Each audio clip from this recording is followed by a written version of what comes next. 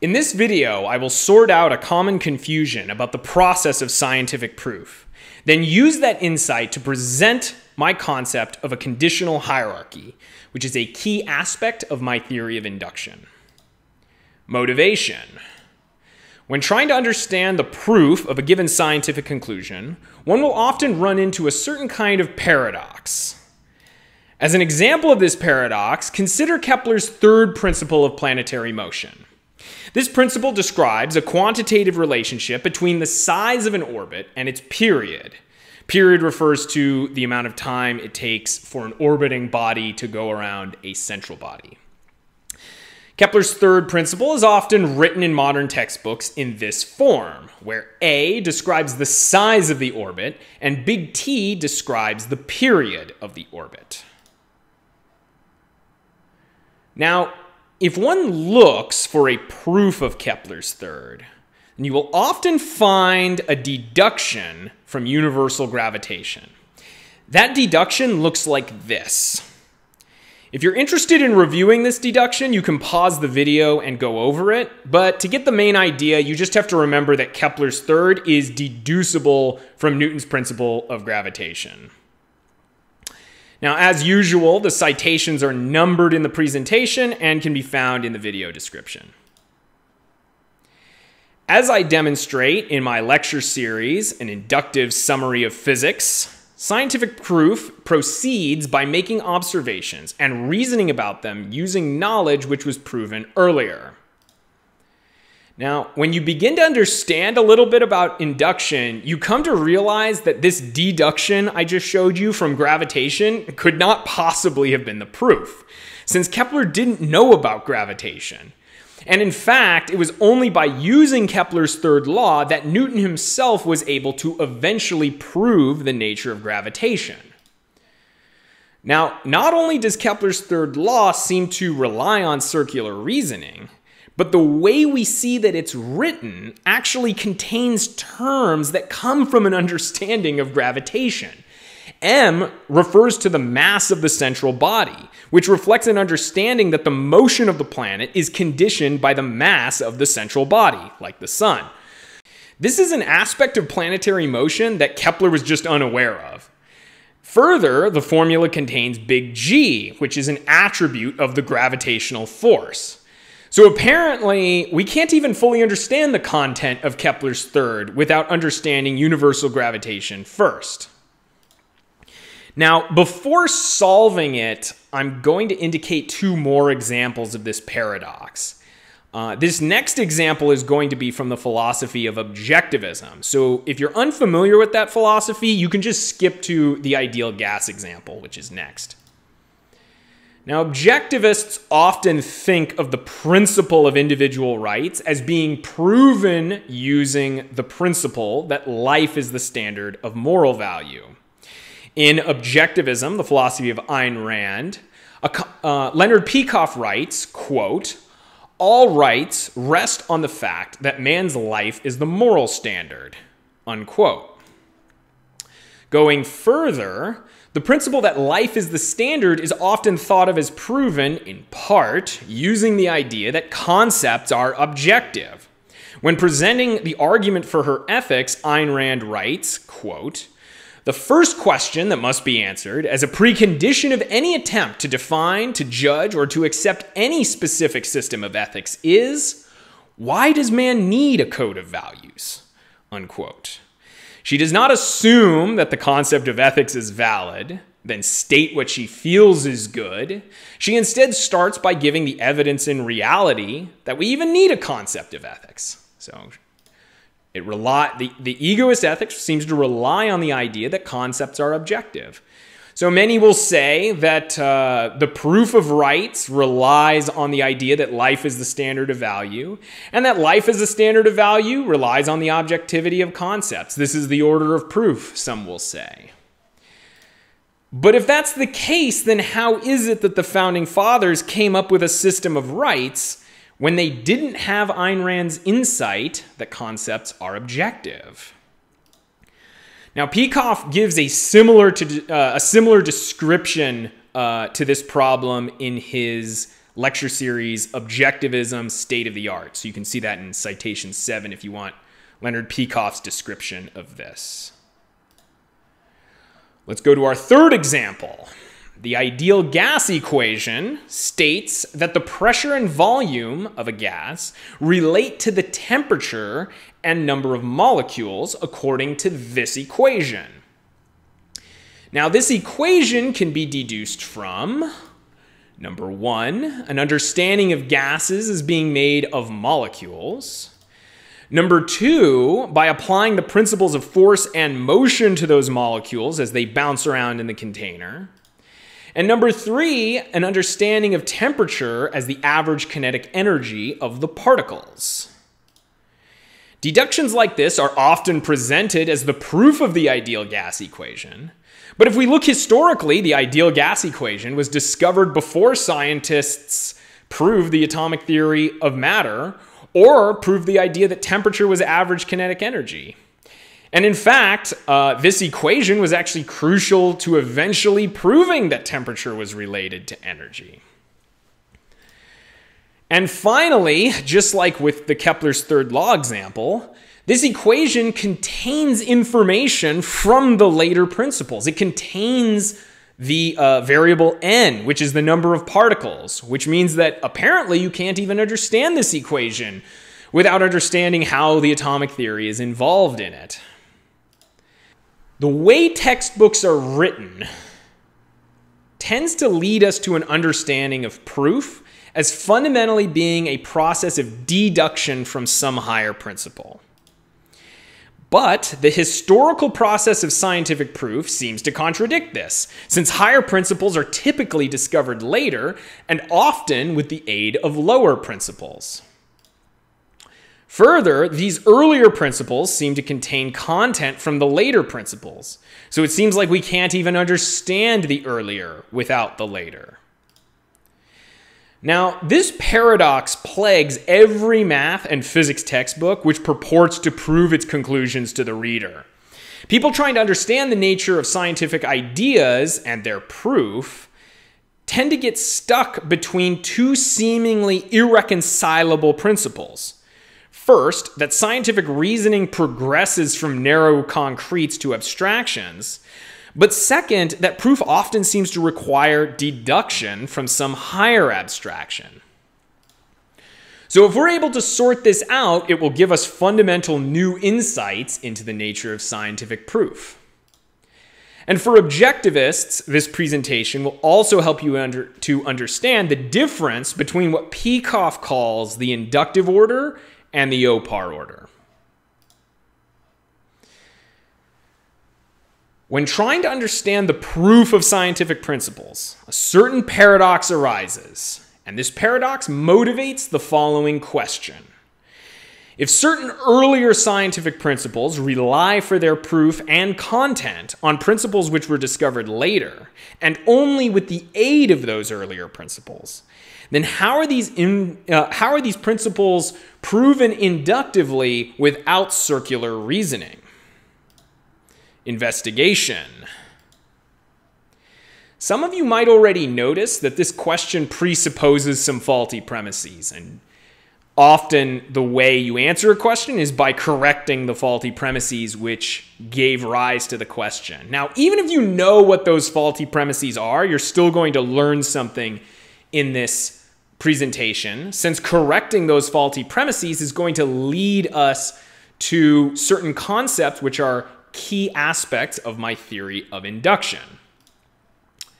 Now, one common wrong response to this question is that earlier ideas like Kepler's third law are just put forward as hypotheses and that they're not really proven until they are deduced from some broader principle, such as gravitation.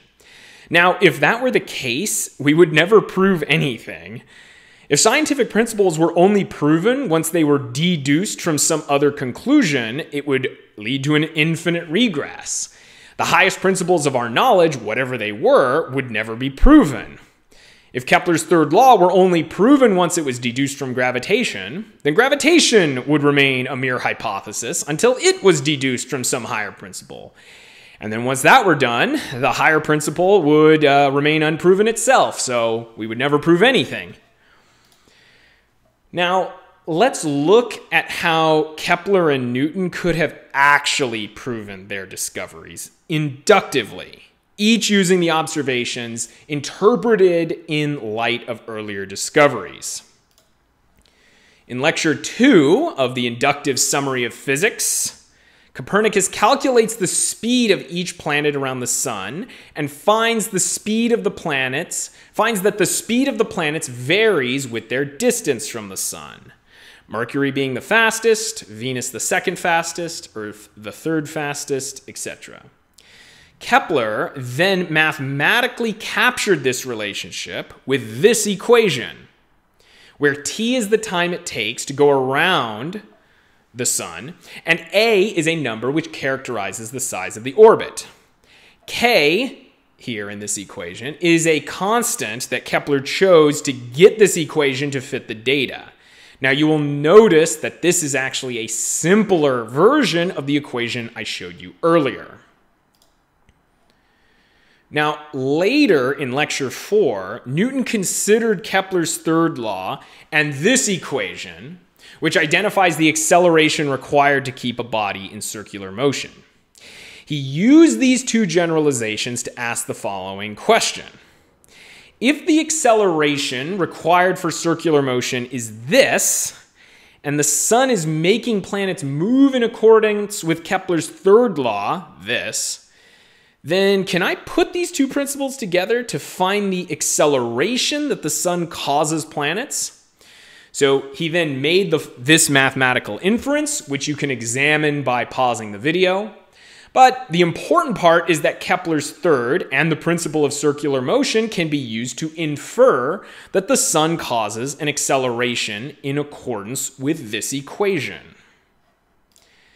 Now, this equation was later changed to this when Newton proved that each bit of mass attracts each other bit of mass. I'm not going to include these steps in the presentation. Finally, it is found that Kepler's third law can be deduced from universal gravitation and the basic mathematics of motion. This is the deduction I showed you at the beginning of the video, and again, you can pause the video to consider it. Now, notice when we deduce Kepler's third from gravitation, we get a more advanced version of the equation. We don't have this constant k, but instead, that constant is replaced with quantities involving big G and m, the strength of gra the gravitational force and the mass of the central body. So, deducing Kepler's third law from gravitation thus endows it with gravitational information. This inductive progression leads us to a key distinction. The way Kepler's third is proven from observation must be distinguished from the way Kepler's third is deducible from gravitation. The relationship between the earlier knowledge of Copernicus and Kepler's third is an inductive dependence. Kepler used observation and prior knowledge of astronomy to induce his principle. In contrast, the deduction from Newton's principle of gravitation to Kepler's third is an integrative relationship. An integrative relationship of this kind does not prove the proposition it deduces. It was already proven by Kepler. Instead, it identifies conditions which underlie Kepler's third law. Deducing Kepler's third from gravitation and the principles of motion shows that the planets move according to Kepler's third as a result of gravitation and of the principles of motion. Now, what is the point of an, a deductive integration of this kind? These. So let me demonstrate. The integration between gravitation and Kepler's third gives us three benefits. First, since we now know that motion according to Kepler's third is caused by a specific gravitational situation, we know that we, if we were to ever see an exception to Kepler's third, that means that the gravitational situation may not apply. So, for example, it turns out that Uranus does not move according to Kepler's third exactly. And part of how we deduced Kepler's third from gravitation is with the assumption that the sun is the only significant gravitational force acting on the orbital body. Now, it turns out that for Uranus, this is not the case, since Neptune is pulling on it. This exception to Kepler's third is actually how Neptune was discovered. In general, the deductive integration identifies the scope of a, of a given generalization by showing that it will only apply in situations where the broader generalization applies. This teaches us more about the generalization by giving us information on when the generalization applies and when it does not. The next benefit is levers of prediction and control. The deductive integration changes the equation to this, which allows us to uh, have more predictive power about the period that different satellites around different central bodies might have. In general, deductive integration identifies more factors which influence the narrower generalization giving us more power to predict and to control the entities that the generalization describes. And this third benefit I will refer to as augmentation. Once Kepler's third is deduced from universal gravitation, the parameter k that Kepler chose is now understood in terms of gravitational attributes the gravitational constant g and the mass of the central body m.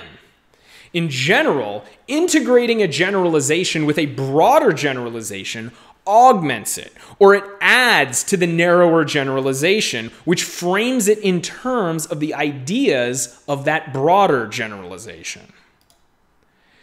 So we have to differentiate deductive integration from inductive proof. But now we can see that deductive integration still serves a vital purpose. Now, let me demonstrate why it is so easy to get these two things mixed together. It's there's there's something you have to know first so that you don't consistently keep making this error even if I've pointed it out. Let's survey the inductive order one more time. The basic version of Kepler's third must come first. I've shown it up here. Then gravitation comes second. Then third is a deduction from Kepler's uh, a deduction of Kepler's third from universal gravitation, which leads to this augmented form of Kepler's third. Now, it's easy to think that Kepler's third relies on gravitation for its proof, because in some sense it does. But it is this augmented form of Kepler's third which is proven through deductive integration. Because we are taught the modern, augmented form of principles in school, this makes us think that we need to know the broader principle first. In this case, it makes us think we need to know gravitation in order to understand Kepler's third. The inductive approach to proving these laws is to first infer a more primitive principle from observation, then to proceed onward, discovering other things, then to circle back to the earlier principle and integrate it with broader principles, thus proving its augmented form. Now, this kind of process is an example of what objectivists call the spiral process of knowledge. And it applies to the other two examples I raised in the motivation phase the ideal gas law and the proof of individual rights. Let's go through those. In the case of the ideal gas equation, a relationship between pressure, volume, and temperature of a gas was found by direct observation first by just doing experiments. Now, you'll notice that this, what I'm showing now, is not the modern form of the equation. It's PV equals MKT, having to do with the mass of the gas. So notice that this formulation does not make any mention of the number of particles. Now, later, it was found that a related equation could be deduced from an understanding of a gas consisting of particles bouncing around in accordance with Newton's principles of motion and with the principle that temperature is the average kinetic energy of the particles. This deduction led to an augmented form of the equation, PV equals nRT, which endowed the equation with information about the number of particles in the gas. In the case of individual rights, the concept was first developed by Enlightenment thinkers like John Locke. Locke proved an aspect of rights by showing that for man to live, he needed the right to the products of his own labor. He needed a right to property. If a king had the right to take his products away from him at any time, then he could simply starve to death. He doesn't have the right to live, essentially. Now, a moral argument like this is valid, and it laid the foundation for the United States. But these moral arguments were insufficient to overcome arguments which eventually came from the altruist ethics. If a man's moral purpose is to serve others, then how could he possibly have the right to his billions when some people are starving? It was not until Rand integrated the concept of individual rights under an ethics of egoism and integrated egoism under an objective view of concepts that individual rights had a defense against such altruist arguments. Now, integrating rights under egoism and the objectivity of concepts therefore augmented the concept of rights. The augmented form of rights produced by Rand is impervious to the claim that, quote, you know, this is the kind of thing they'll say we need to balance individual rights with our obligation to serve others. But showing that concepts are objective, she was able to prove that the individual's life is the standard of value. And she was able to demonstrate that the altruist ethics, and therefore the redistributionist arguments it entails, have no such fact based grounding. Now, this distinction between inductive dependence and deductive integration, and an understanding of how deductive integration is a part of the inductive process, makes possible an understanding of my concept of conditional hierarchy, which I will now explain. There are many great works in the history of math and science which begin with the broadest principles of a field and then deduce the narrower principles of the field from them. I will call these works conditional hierarchies, and here are three examples.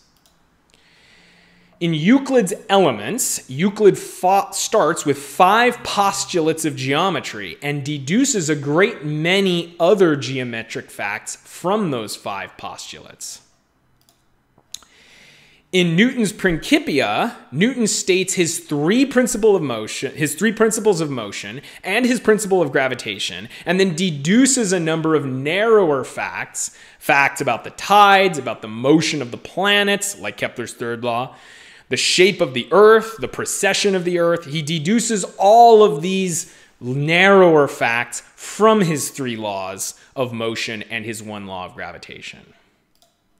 And in like form, the book Objectivism, the philosophy of Ayn Rand, starts with the axioms of objectivism and proceeds in a carefully selected order, showing how the broader principles of objectivism, earlier in the book, play a role in the narrower principles of objectivism, which come later in that book. Now, I have to note that unlike the elements or Newton's Principia, the rest of the principles of objectivism are not simply deduced from the axioms. But Opar is still similar to these works in that the earlier principles are shown to condition the later principles. Now, these great works have often been thought of as proofs of their conclusions. These works are not proofs.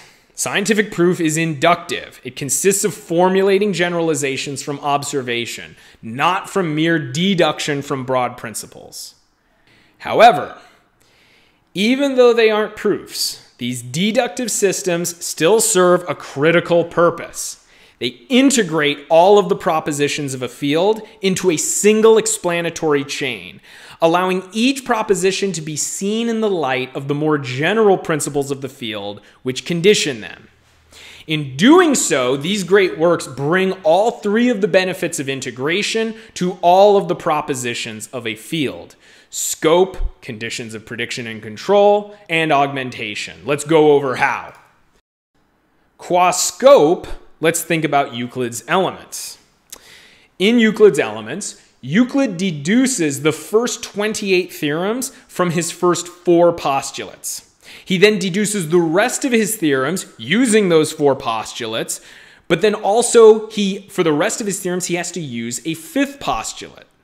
What this tells us is that in situations where all five postulates apply, that is, on flat surfaces, then all of Euclid's theorems will hold.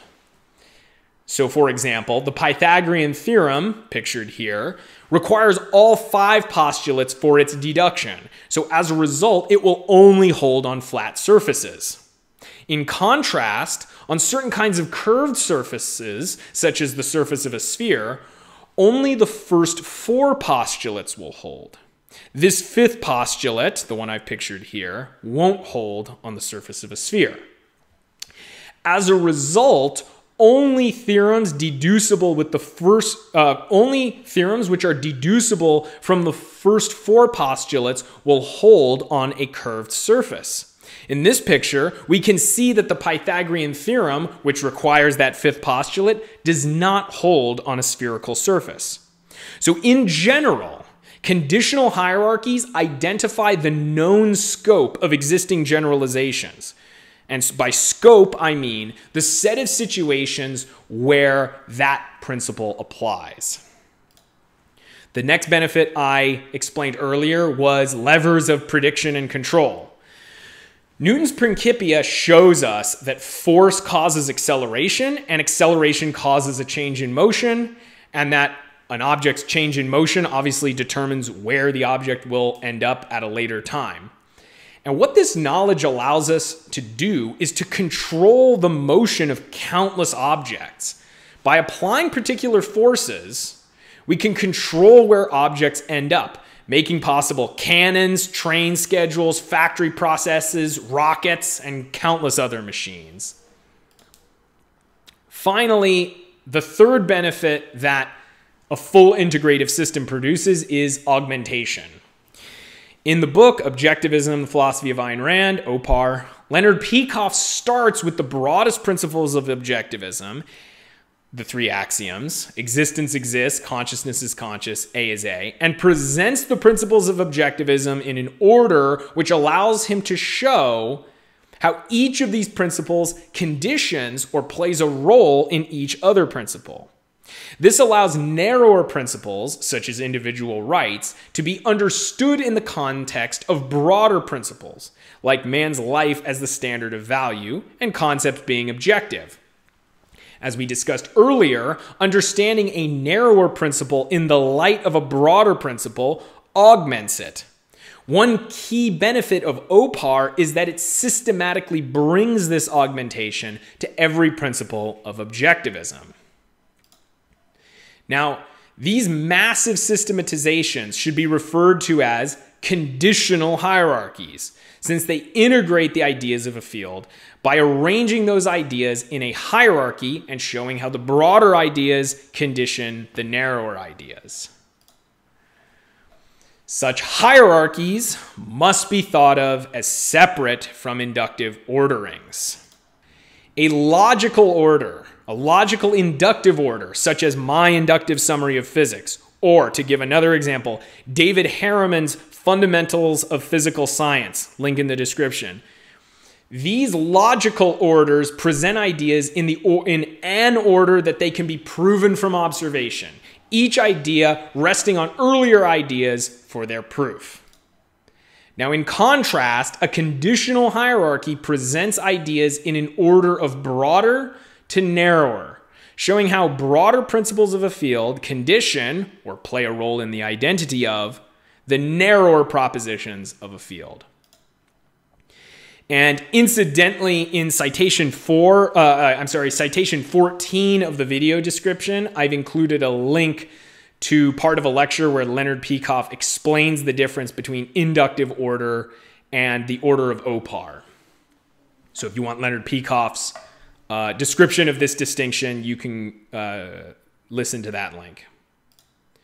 Now, just like individual conditioning connections, The reasoning steps which form these great treatises, these conditional hierarchies, have their own place in the inductive order. First, the development of these hierarchies have their own place in the inductive order because they are, of course, inductively dependent on all of the premises they integrate. To write the elements, Euclid had to already know all, or at least the vast majority of, his theorems. When writing the Principia, Newton had already know about the motion of the planets, the tides, the precession of the Earth, and all the other things he ended up explaining in order to show that they were caused by his three principles of motion and his principle of gravitation. And second, these conditional hierarchies actually constitute new steps in the inductive journey that uncover new knowledge in the form of augmented propositions. When Newton identified the cause of Kepler's third, or the tides, or the precession of the Earth, that identification of cause actually taught us more about the phenomena that we didn't know before the deductive integration. Conclusion. Let's return to the motivation and to the question so I can show how I answered the question and satisfied the motivation which gave rise to it. Returning to the question. If certain earlier scientific principles rely for their proof and content on principles which were discovered later, and only with the aid of those earlier principles, then how are these principles inductively proven without circular reasoning? This question was motivated by the fact that the way proof is presented in standard math and physics textbooks makes understanding the fundamental nature of proof confusing. I have answered the question and satisfied the motivation by showing the following.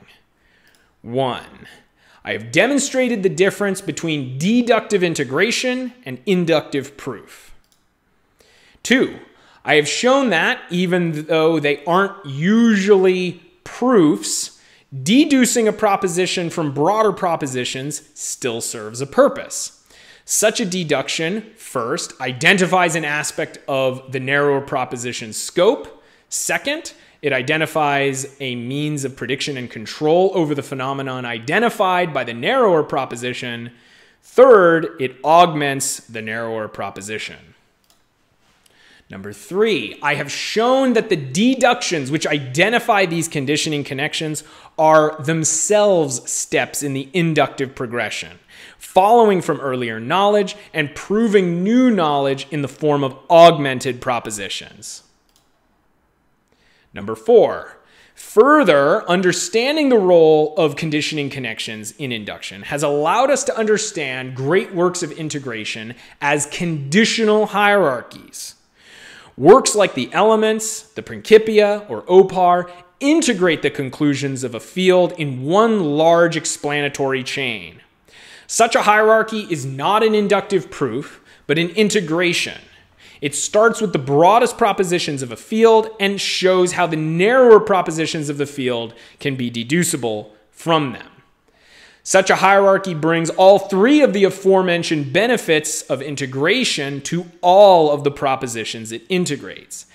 It brings us the maximum identification of scope, all of the possible levers of prediction and control, and it maximally augments all of the propositions of the field. Number five, the, formula, the formation of a conditional hierarchy is a step in the inductive process relying on the items of knowledge it integrates and producing new knowledge itself in the form of augmented propositions. So these are the conclusions which allow us to understand this paradox and resolve it. And in the meantime, we have now gained additional knowledge about these different facets of induction and how they interrelate with one another. Now, before I go, I want to mention one last and most important citation. This presentation was made possible by the lecture The Crisis of Principles in Greek Mathematics by Pat Corvini. Near the end of that lecture, Corvini makes a point which can be paraphrased as follows. The purpose of rigorous proof in mathematics is not to show that the mathematical methods are valid, but rather to identify the context in which those methods are valid. Now, what I have shown in this presentation is that this point is not just true of mathematics, but it is true of all deductive integrative systematizations. Understanding the difference between inductive proof and conditional hierarchy is a key aspect of my method of induction. The Inductive Physics Project will use this theory of induction to write inductive proofs of the valid principles of known physics, instead of taking the deductive systematizations that currently exist on faith. This will allow us to reinterpret quantum and relativistic phenomenon afresh, correcting the flawed theories of relativity and quantum mechanics. Once the known principles of physics are reintegrated with an inductive proof and a conditional hierarchy, that understanding will form a foundation which will allow us to discover new physical phenomena. Thank you for your attention, and I hope you will continue to join me on this journey.